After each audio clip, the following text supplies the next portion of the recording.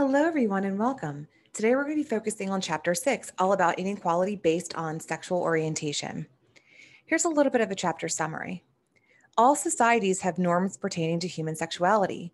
Such norms are based on the assumption that some form of attraction in sexual relationships are normal or appropriate, while others are abnormal or inappropriate. In many societies, people experience a high level of prejudice and discrimination due to sexual orientation because homosexual conduct is considered a form of deviance. Although it's not a crime to be homosexual in the United States, some states have sodomy laws that criminalize sexual conduct between persons of the same sex. In the United States, same sex marriage is federally recognized. Research indicates that sexual orientation may be partially linked to genetic inheritance, a combination of genetic factors, and gender socialization. Symbolic interactionist theorists focus on the process by which people come to self identify as gay, lesbian, bisexual, or straight. And some sociologists suggest that sexual orientation is a master status for many gay men and lesbians. Most functionalists believe that homosexuality may be dysfunctional for society if it undermines norms and laws that maintain traditional family structure. Conflict theorists argue that laws relating to sexual orientation illustrate and reinforce the norms and values of dominant group members. By the end of reading chapter six, you should be able to define sexual orientation, gender identity, sexuality, and homophobia, and describe how these terms are interrelated. You'll be able to explain the role of religion and law in establishing norms pertaining to sexual orientation. You'll be able to discuss discrimination in marital rights and parental rights as it relates to LGBTQ persons. You'll be able to describe the ways in which LGBTQ discrimination persists in housing and healthcare despite laws to the contrary. You'll be able to discuss the effectiveness of changes implemented to reduce LGBTQ discrimination in the workplace and the military. Discuss reasons why LGBTQ individuals are more likely to become victims of crime, particularly hate crime, than heterosexual persons compare psychological and sociological perspectives on LGBTQ based social inequalities. And finally, describe how LGBTQ inequalities might be reduced or solved. So let's first do a introduction to inequality based on sexual orientation. Lesbian, gay, bisexual, or transgender, also known as LGBT, parents, children, and others experience discrimination based on sexual orientation. A preference for emotional sexual relationships with individuals of the same sex, homosexuality, the opposite sex, or hetero, um, heterosexuality, or both, known as bisexuality. The term homosexual and gay refer to males who prefer same sex emotional sexual relationships, whereas the term lesbian refers to females who prefer same sex emotional sexual relationships. But it's worth mentioning that there's an increasing incident of the use of the term gay to refer to both male and female same sex attractions. Heterosexual individuals who prefer opposite sex emotional sexual relationships are sometimes referred to as straight. Researchers at the University of Chicago established three criteria for identifying people as homosexual or bisexual sexual attraction to persons of one's own gender, sexual involvement with one or more persons of one's own gender, and self identification as a gay man, lesbian, or bisexual. Nearly 25.6 million people in the United States, about 11% of the population, have acknowledged that they've experienced at least some same sex attraction, while about 19 million, or 8.2% of the population, have had at least one same sex encounter. The US Census Bureau keeps tracks of the numbers in sex, age, and racial ethnic categories, but it does not ask about sexual orientation or gender identity. The Census 2010 was the first to officially ask about same sex partners and spouses. Because persons could check either husband, wife, or unmarried partner, the Census Bureau estimated that about 581,000 same sex couples were living in the United States in 2009, but it did not count gay singles. Concerning the transgender population, Census 2010 asked a question about each person's sex, and transgender persons were asked to select only the sex with which they most strongly identify. The Williams Institute at the University of California, Los Angeles, estimates that 9 million people, about 3.8% of the population, identify as gay, lesbian, bisexual, or transgender. That equates to be 1.7 is gay or lesbian, 1.8% is bisexual, and 0.3% is transgender. The 2009 National Survey of Sexual Health and Behavior focused on gay and lesbian populations alone and found the largest percentages 3.1 for bisexual and 2.5 for gay and lesbian. Most societies have norms pertaining to sexuality. The norms are based on the assumption that some forms of sexual relationships are normal and appropriate, while others are abnormal and inappropriate. In many societies, homosexual conduct is classified as a form of deviance that may result in a person becoming a target of prejudice, discrimination, and even death. Extreme prejudice directed at gay men and lesbians is known as homophobia. Homophobia is intensified by the ideology of compulsory heterosexism, a belief that denies, de- degenerates, and stigmatizes gay, lesbian, or bisexual behavior, identity, relationships, or communities. Homophobia differs from other forms of bigotry. The unwritten rules that forbid public expression of other prejudices do not apply to denouncing gays with impunity. Strong anti gay prejudice in the United States is a major impediment to achieving gay rights. Despite programs like Glee and the L Word that positively depict LGBT characters, media depictions often re- reinforce stereotypes. When it comes to religion and sexual orientation, it should be noted that most of the world's major religions, including Judaism, Christianity, Islam, Confucianism, and Hinduism, historically have regarded homosexuality as a sin. Buddhism is the only major exception.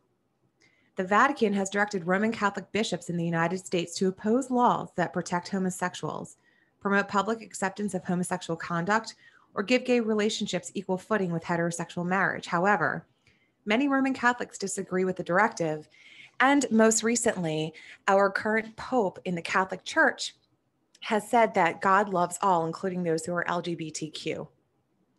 In 2011, the Southern Baptist Convention reaffirmed the church's official position that homosexual behavior is a sin, as dictated by the Bible. In 2011 as well, the 2.1 million member Presbyterian Church changed its ordination policy so that openly gay and lesbian persons in same sex relationships could be ordained as ministers, elders, and deacons if individual congregations wish to do so. The United States Church of Christ and the Episcopal and Evangelical Lutheran churches have also accepted gay and lesbian clergy. Some gay and lesbian people have sought to bring about changes in established religious denominations and their perceptions of the morality or immorality associated with gay rights issues. Others have formed religious bodies, such as the Metropolitan Community Church, that focus on the needs of the gay community. Historically, to be a homosexual has not been a crime, but to engage in homosexual conduct has been viewed as a crime in states with sodomy laws that criminalize oral or anal intercourse between persons of the same sex. In 2003, the Supreme Court invalidated sodomy laws in all 14 states that had such laws on the books. Winning the fight for marital rights. Something to think about is that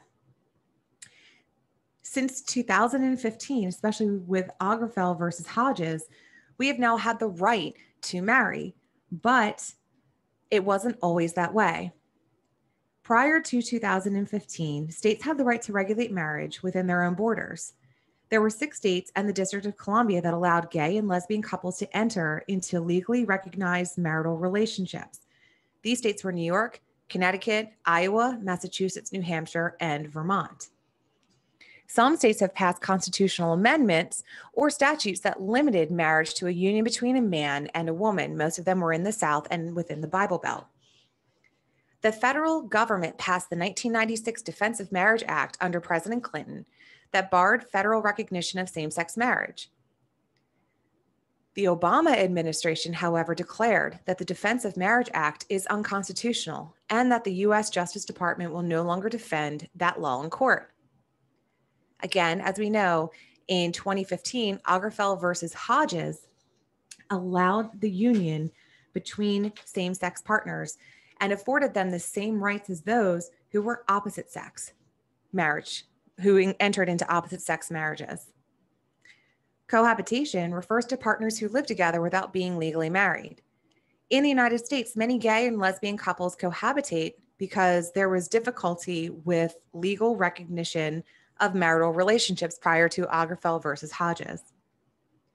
Some cities and states have legally recognized domestic partnerships via civil unions. However, the certain rights only come with a marriage license. And again, Obergefell versus Hodges in 2015 eradicated the difference between same sex and opposite sex marriages. When we look at parental rights, the LGBT community has struggled for many years to gain the same parental rights as heterosexual couples. Estimates suggest that between 8 and 10 million children are being raised by gay or lesbian parents in the United States. Many gay and lesbian couples entered into their current relationships after first having children in heterosexual relationships. These situations can be problematic for non biological parents who have no legal rights to these children. Other children come into the gay family through adoption. According to the 2010 census data, about 19% of same sex couples who were raising children reported that they had adopted a child, that they had adopted a child and that that child was living in their home. Only two states, Mississippi and Utah, specifically prohibit same sex couples from adopting a child. However, 25 states have barriers to adoption because same sex couples can had difficulty previously in legally marrying.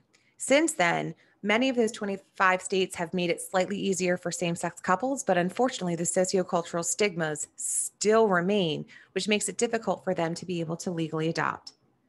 Ironically, in some states, gay singles are permitted to adopt children, whereas gay couples face stronger prohibit, prohibit, prohibitions. Lesbian couples often choose artificial insemination to produce a child. As more lesbian couples have chosen IVF to become parents, issues have risen about the rights of non biological parents whose claims are often the least recognized.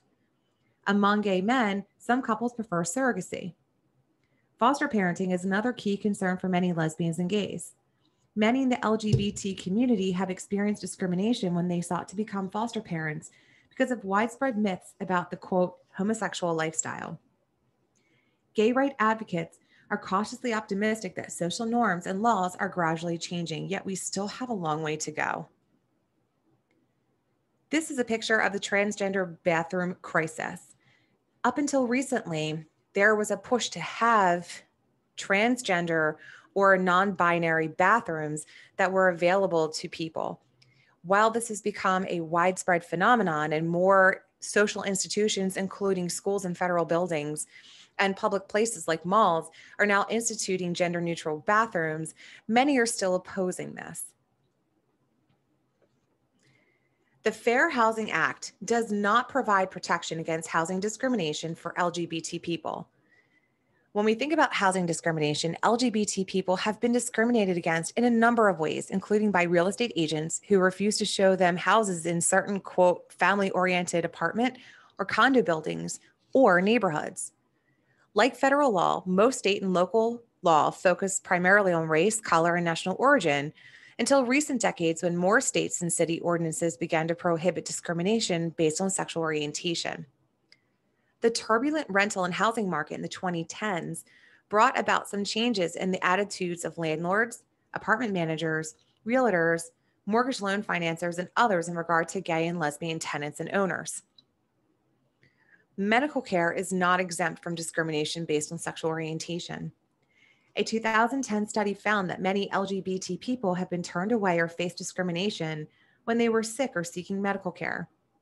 The problem was especially pronounced amongst transgender individuals. Currently, doctors in a number of states have had laws protecting LGBT persons against differential treatment or refusal to treat cannot withhold treatment to provide substandard treatment because of a person's sexual orientation or gender identity. The American Medical Association has developed guidelines calling for equal treatment of LGBT patients, doctors, and medical students. Despite laws and ethical guidelines to the contrary, all healthcare providers do not comply with non discrimination requirements. Openly LGBT individuals continue to face widespread discrimination in hiring, retention, and promotion in private and public sector employment. Furthermore, straight coworkers are often aware of discrimination and harassment against LGBT employees at their place of employment. The passage of 2011's Employment Non Discrimination Act, or ENDA, provides legal protection for LGBT persons in the workplace. Sexual harassment of LGBT workers has also been an ongoing concern in the workplace. LGBT persons also suffer discrimination in the military. In the past, although many closeted gay men and lesbians served, the official government policy was one of exclusion based on the myth that homosexuals were such a high risk because they might be blackmailed by someone who found out about their sexual orientation. Don't Ask, Don't Tell was made a law in 1993, allowing gays and lesbians to serve in the military as long as they did not reveal their sexual orientation and refrain from homosexual acts. Commanders could no longer ask about a service person's sexual orientation. In 2010, both houses of Congress repealed the law. There's been some indication that all vestiges of the policy are far from removed in all branches of the military. However, there's still a military culture that does not accept people that are considered homosexual. Even though Don't Ask, Don't Tell has been repealed, there are still persons who fear what could happen to them by people within their unit and their chain of command if it is found that they are same sex attracted. Furthermore, transgender individuals are fighting for their rights within the military. Under President Obama, they were afforded the rights to be able to seek medical assistance and also work towards transitioning.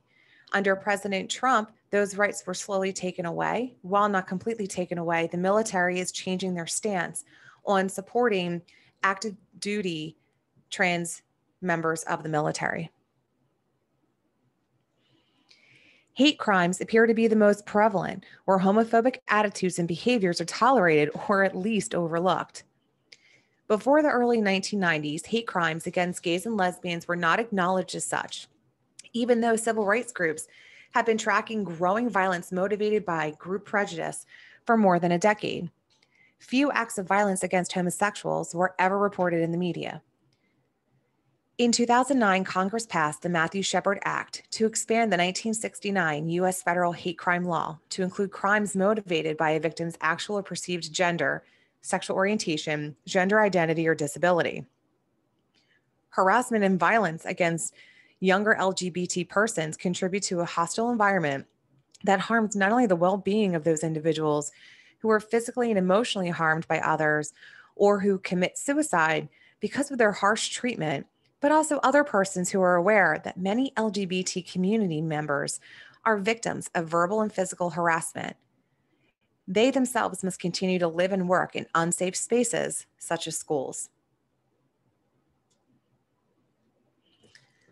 Let's look at different perspectives on sexual orientation and social inequality. We'll first focus on the psychological perspective. Some perspectives are based on biology and psychology. According to some perspectives, homosexuality, like heterosexuality, is an ascribed characteristic present from birth that can't be changed through counseling or therapy. Some psychological approaches associate homosexuality with mental processes and childhood experiences.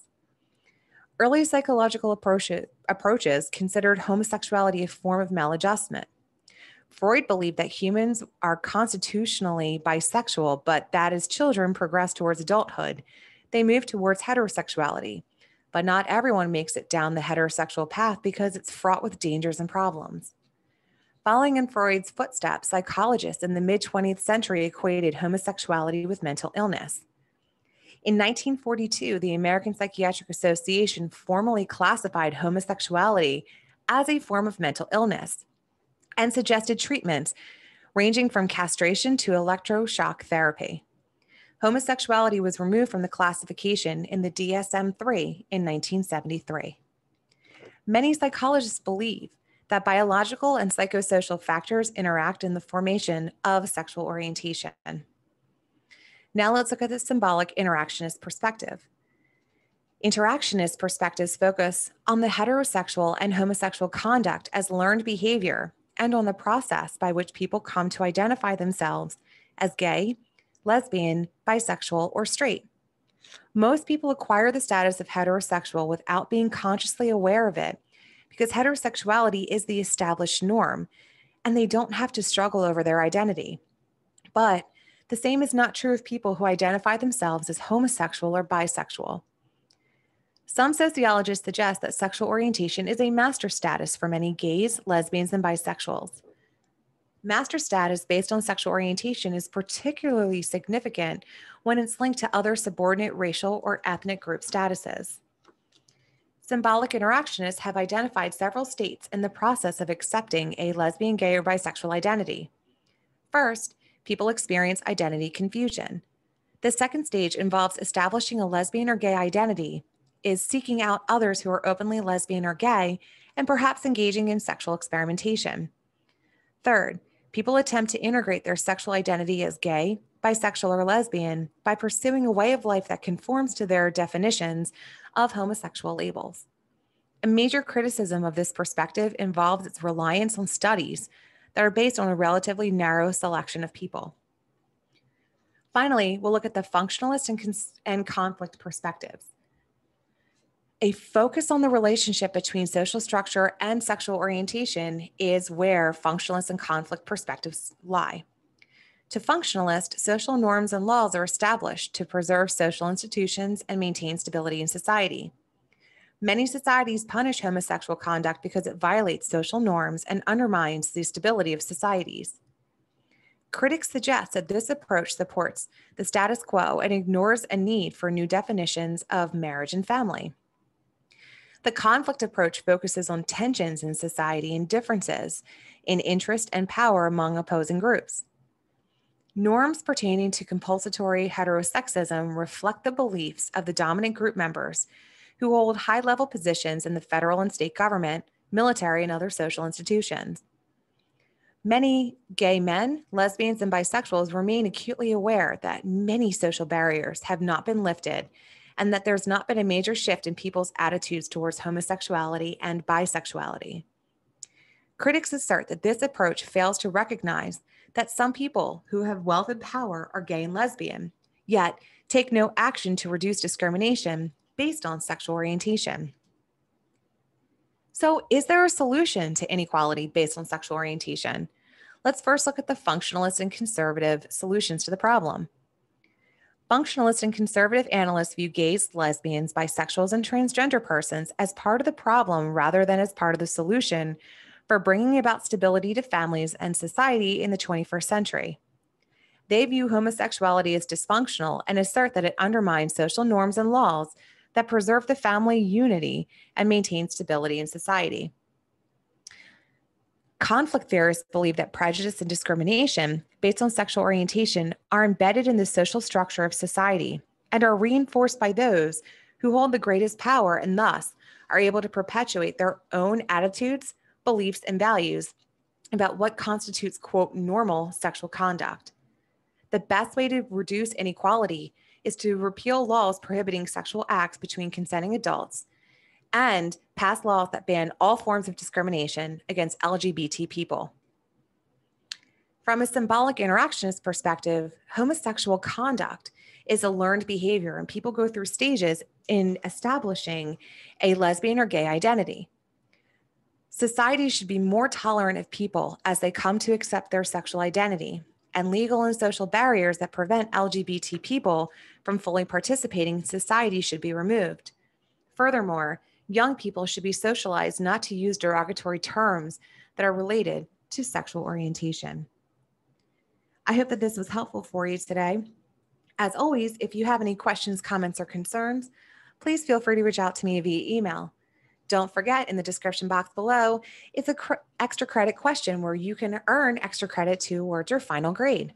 All you need to do is answer the question, take a screenshot, and upload it to receive up to one point. Remember, it's due by Sunday at 11:59 p.m. I hope that this was helpful again, and until next time, take care.